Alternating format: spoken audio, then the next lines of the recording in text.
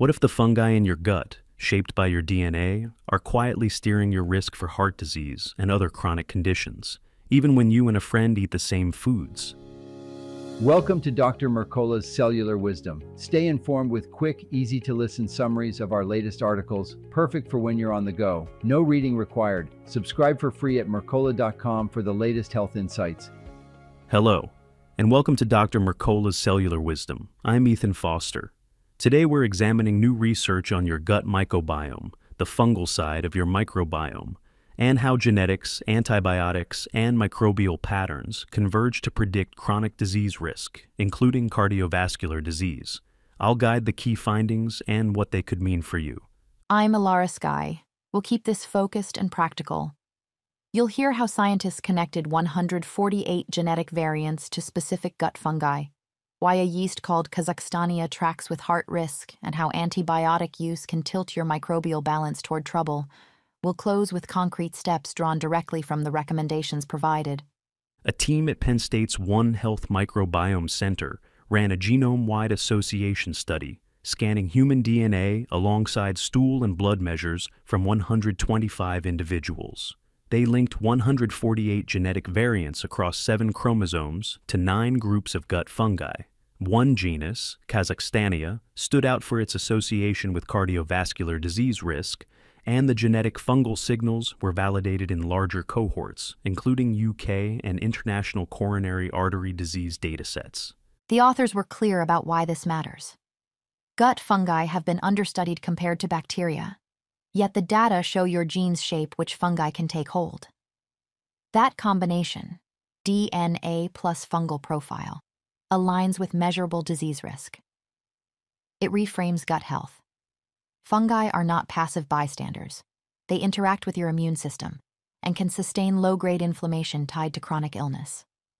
Here's the practical implication two people can share a similar diet and still diverge in outcomes because genetic differences set the stage for which fungi thrive. If your genetics favor fungi linked with inflammation, your baseline risk goes up, Diet still matters, but the evidence here says even strong dietary habits may not fully override gene guided fungal patterns. Antibiotics complicate the picture. They eliminate bacteria, but leave fungi intact. That removal of bacterial competitors can let pathogenic fungi expand. The researchers noted that antibacterial treatments indirectly shift fungal abundance by altering the bacterial partners and signaling molecules those fungi rely on. Animal data show microbial networks becoming more fragmented after antibiotics, fewer connections, greater fragility, and higher susceptibility to future disruption. This has clinical weight beyond theory. Separate research cited in the discussion found that gut microbiome patterns are powerful predictors of major adverse cardiovascular events in people with coronary heart disease. In one analysis of 679 high risk patients, 10 bacterial strains were combined into an intestinal microbiota based risk score that identified who was most likely to suffer another event. High score individuals tended to have worse metabolic markers and features of dysbiosis. Put these threads together, and you get a coherent message.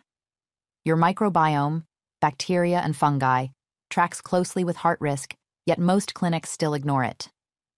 Standard checkups focus on blood pressure and cholesterol while skipping gut assessment, leaving a predictive and potentially modifiable signal on the table. This doesn't argue against diet, it sharpens it. The findings suggest that genetics select the fungal players, antibiotics can shift the balance further, and your day to day inputs either stabilize or destabilize the system. That's why two similar meal plans can yield different outcomes and why probiotics aimed only at bacteria may miss a key driver when fungi are involved. Let's translate the provided recommendations into clear actions. First, shift away from inflammatory fats. If you're using seed oils or relying on processed and fried foods, you're feeding inflammation that worsens fungal imbalance. Replace those oils with stable animal fats like grass fed butter, ghee, or tallow. This reduces stress on your gut lining and supports steadier cellular energy. Second, use carbohydrates strategically to support cellular energy.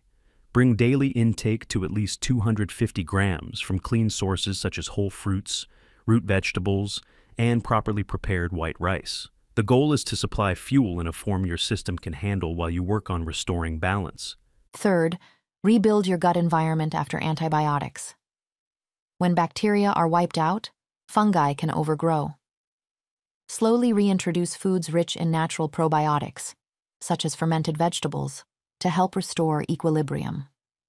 This is a measured reentry, not a rush, aimed at reestablishing microbial stability.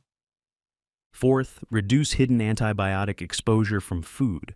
Conventionally raised chicken and other meats may contribute low dose antibiotic residues. Prioritize pasture raised or grass fed animal proteins when you can. It's a straightforward way to lower continual antimicrobial pressure on your gut ecosystem. Fifth, strengthen resilience against fungal overgrowth with simple food choices. If processed sugars and packaged snacks make you feel worse, treat that as feedback. Choose foods closer to their natural state. Sip juice with pulp instead of processed fruit drinks, and eat whole fruits daily. These steps favor beneficial bacteria and help keep fungi in check. A few clarifications from the study narrative help set expectations. Antibiotics alone can tip an already vulnerable system toward imbalance if your genetics lean pro inflammatory. That partly explains why a standard bacterial probiotic doesn't always resolve symptoms. The fungal side has its own dynamics. Also, when you hear that genetics shape your gut fungi, it doesn't erase agency, it highlights where to intervene, reduce inflammatory inputs, rebuild after perturbations, and align choices with microbial stability.